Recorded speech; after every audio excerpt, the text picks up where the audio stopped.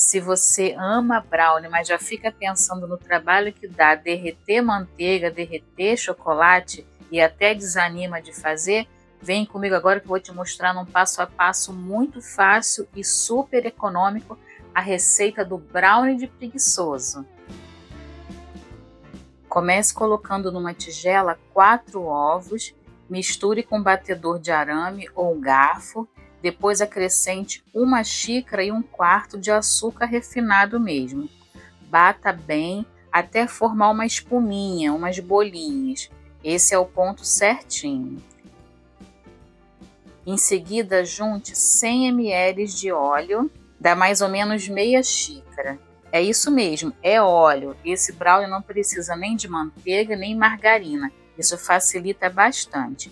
Misture mais um pouco e agora coloque uma xícara e meia de chocolate 50% cacau. Peneire para não ficar nenhum gruminho. Eu vou usar essa caneca peneira, mas pode ser uma peneira normal também. Essa além de linda facilita muito o trabalho. Misture tudo muito bem até incorporar todo o chocolate.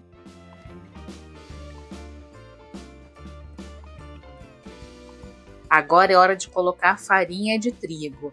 Ela também tem que ser peneirada. Coloca uma xícara de farinha sem fermento e pode juntar também já uma pitada de sal. Depois de colocar a farinha, não bata muita massa. Só mistura, porque se você bater muito, acaba virando bolo. É só até incorporar a farinha e aí você já para de bater.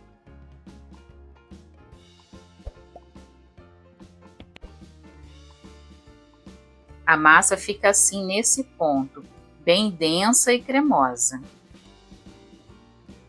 Para assar os brownies, eu vou usar uma forma de 20 por 30 centímetros.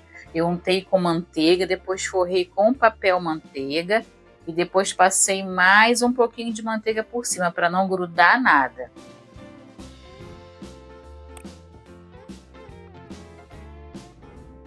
Despeje toda a massa na forma e com a ajuda de uma espátula ou colher, acerte toda a massa para que fique na mesma altura. Agora é só levar ao forno pré-aquecido a 180 graus por 20 minutos. O brownie fica assim depois de assado. Você pode fazer o teste do palito, ele sai sujo ainda, mas não muito molhado.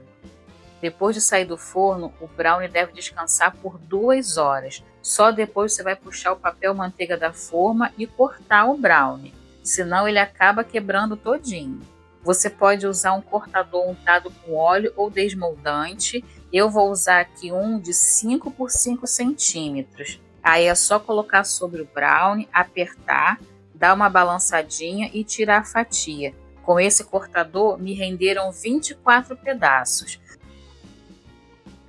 Você pode cortar também com uma faca de pão ou mesmo uma espátula. Dá super certo também. E olha só que lindo que ficou meu brownie de preguiçoso. Ele fica muito gostoso e doce na medida certa. Você pode colocar em saquinhos e presentear ou até mesmo vender.